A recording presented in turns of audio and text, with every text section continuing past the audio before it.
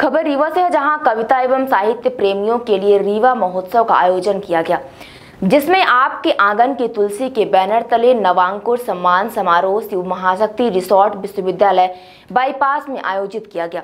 रीवा महोत्सव के देश भर के प्रतिष्ठित रचनाकार एवं साहित्यकार अपनी सुप्रसिद्ध काव्य पाठ किया।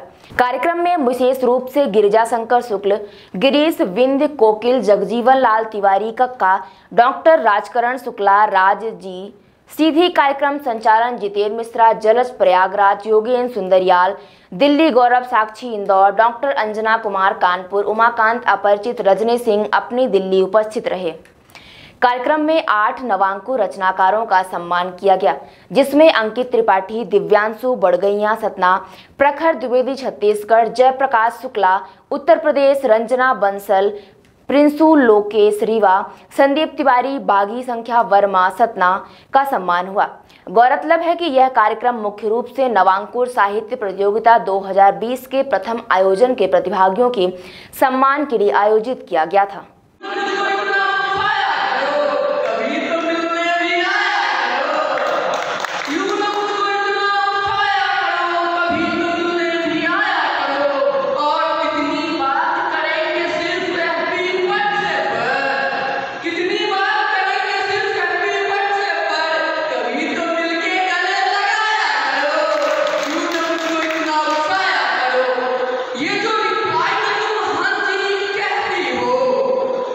कवि सम्मेलन हुआ है।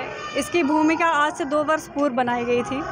हमारे भाई साहब स्वर्गीय सुखेंद्र पांडे जी राहुल, जो इस दुनिया में नहीं हैं, उनके उपलक्ष्य में मैंने ये छोटा सा मतलब कहना चाहिए कि नवांकुर साहित्य प्रतियोगिता का आयोजन किया था। और मेरी ये हार्दिक इच्छा थी कि मैं इसको एक राष्ट्रीय स्तर पर स्थापित करने का प्रयास करूँ और इसे उसी श्रृंखला में लाने के लिए लगातार प्रयासरत हूँ।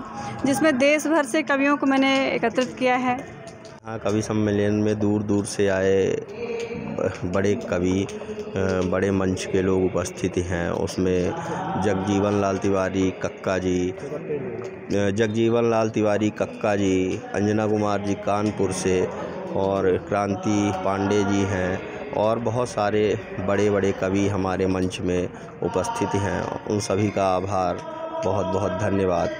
कार्यक्रम में आने के लिए।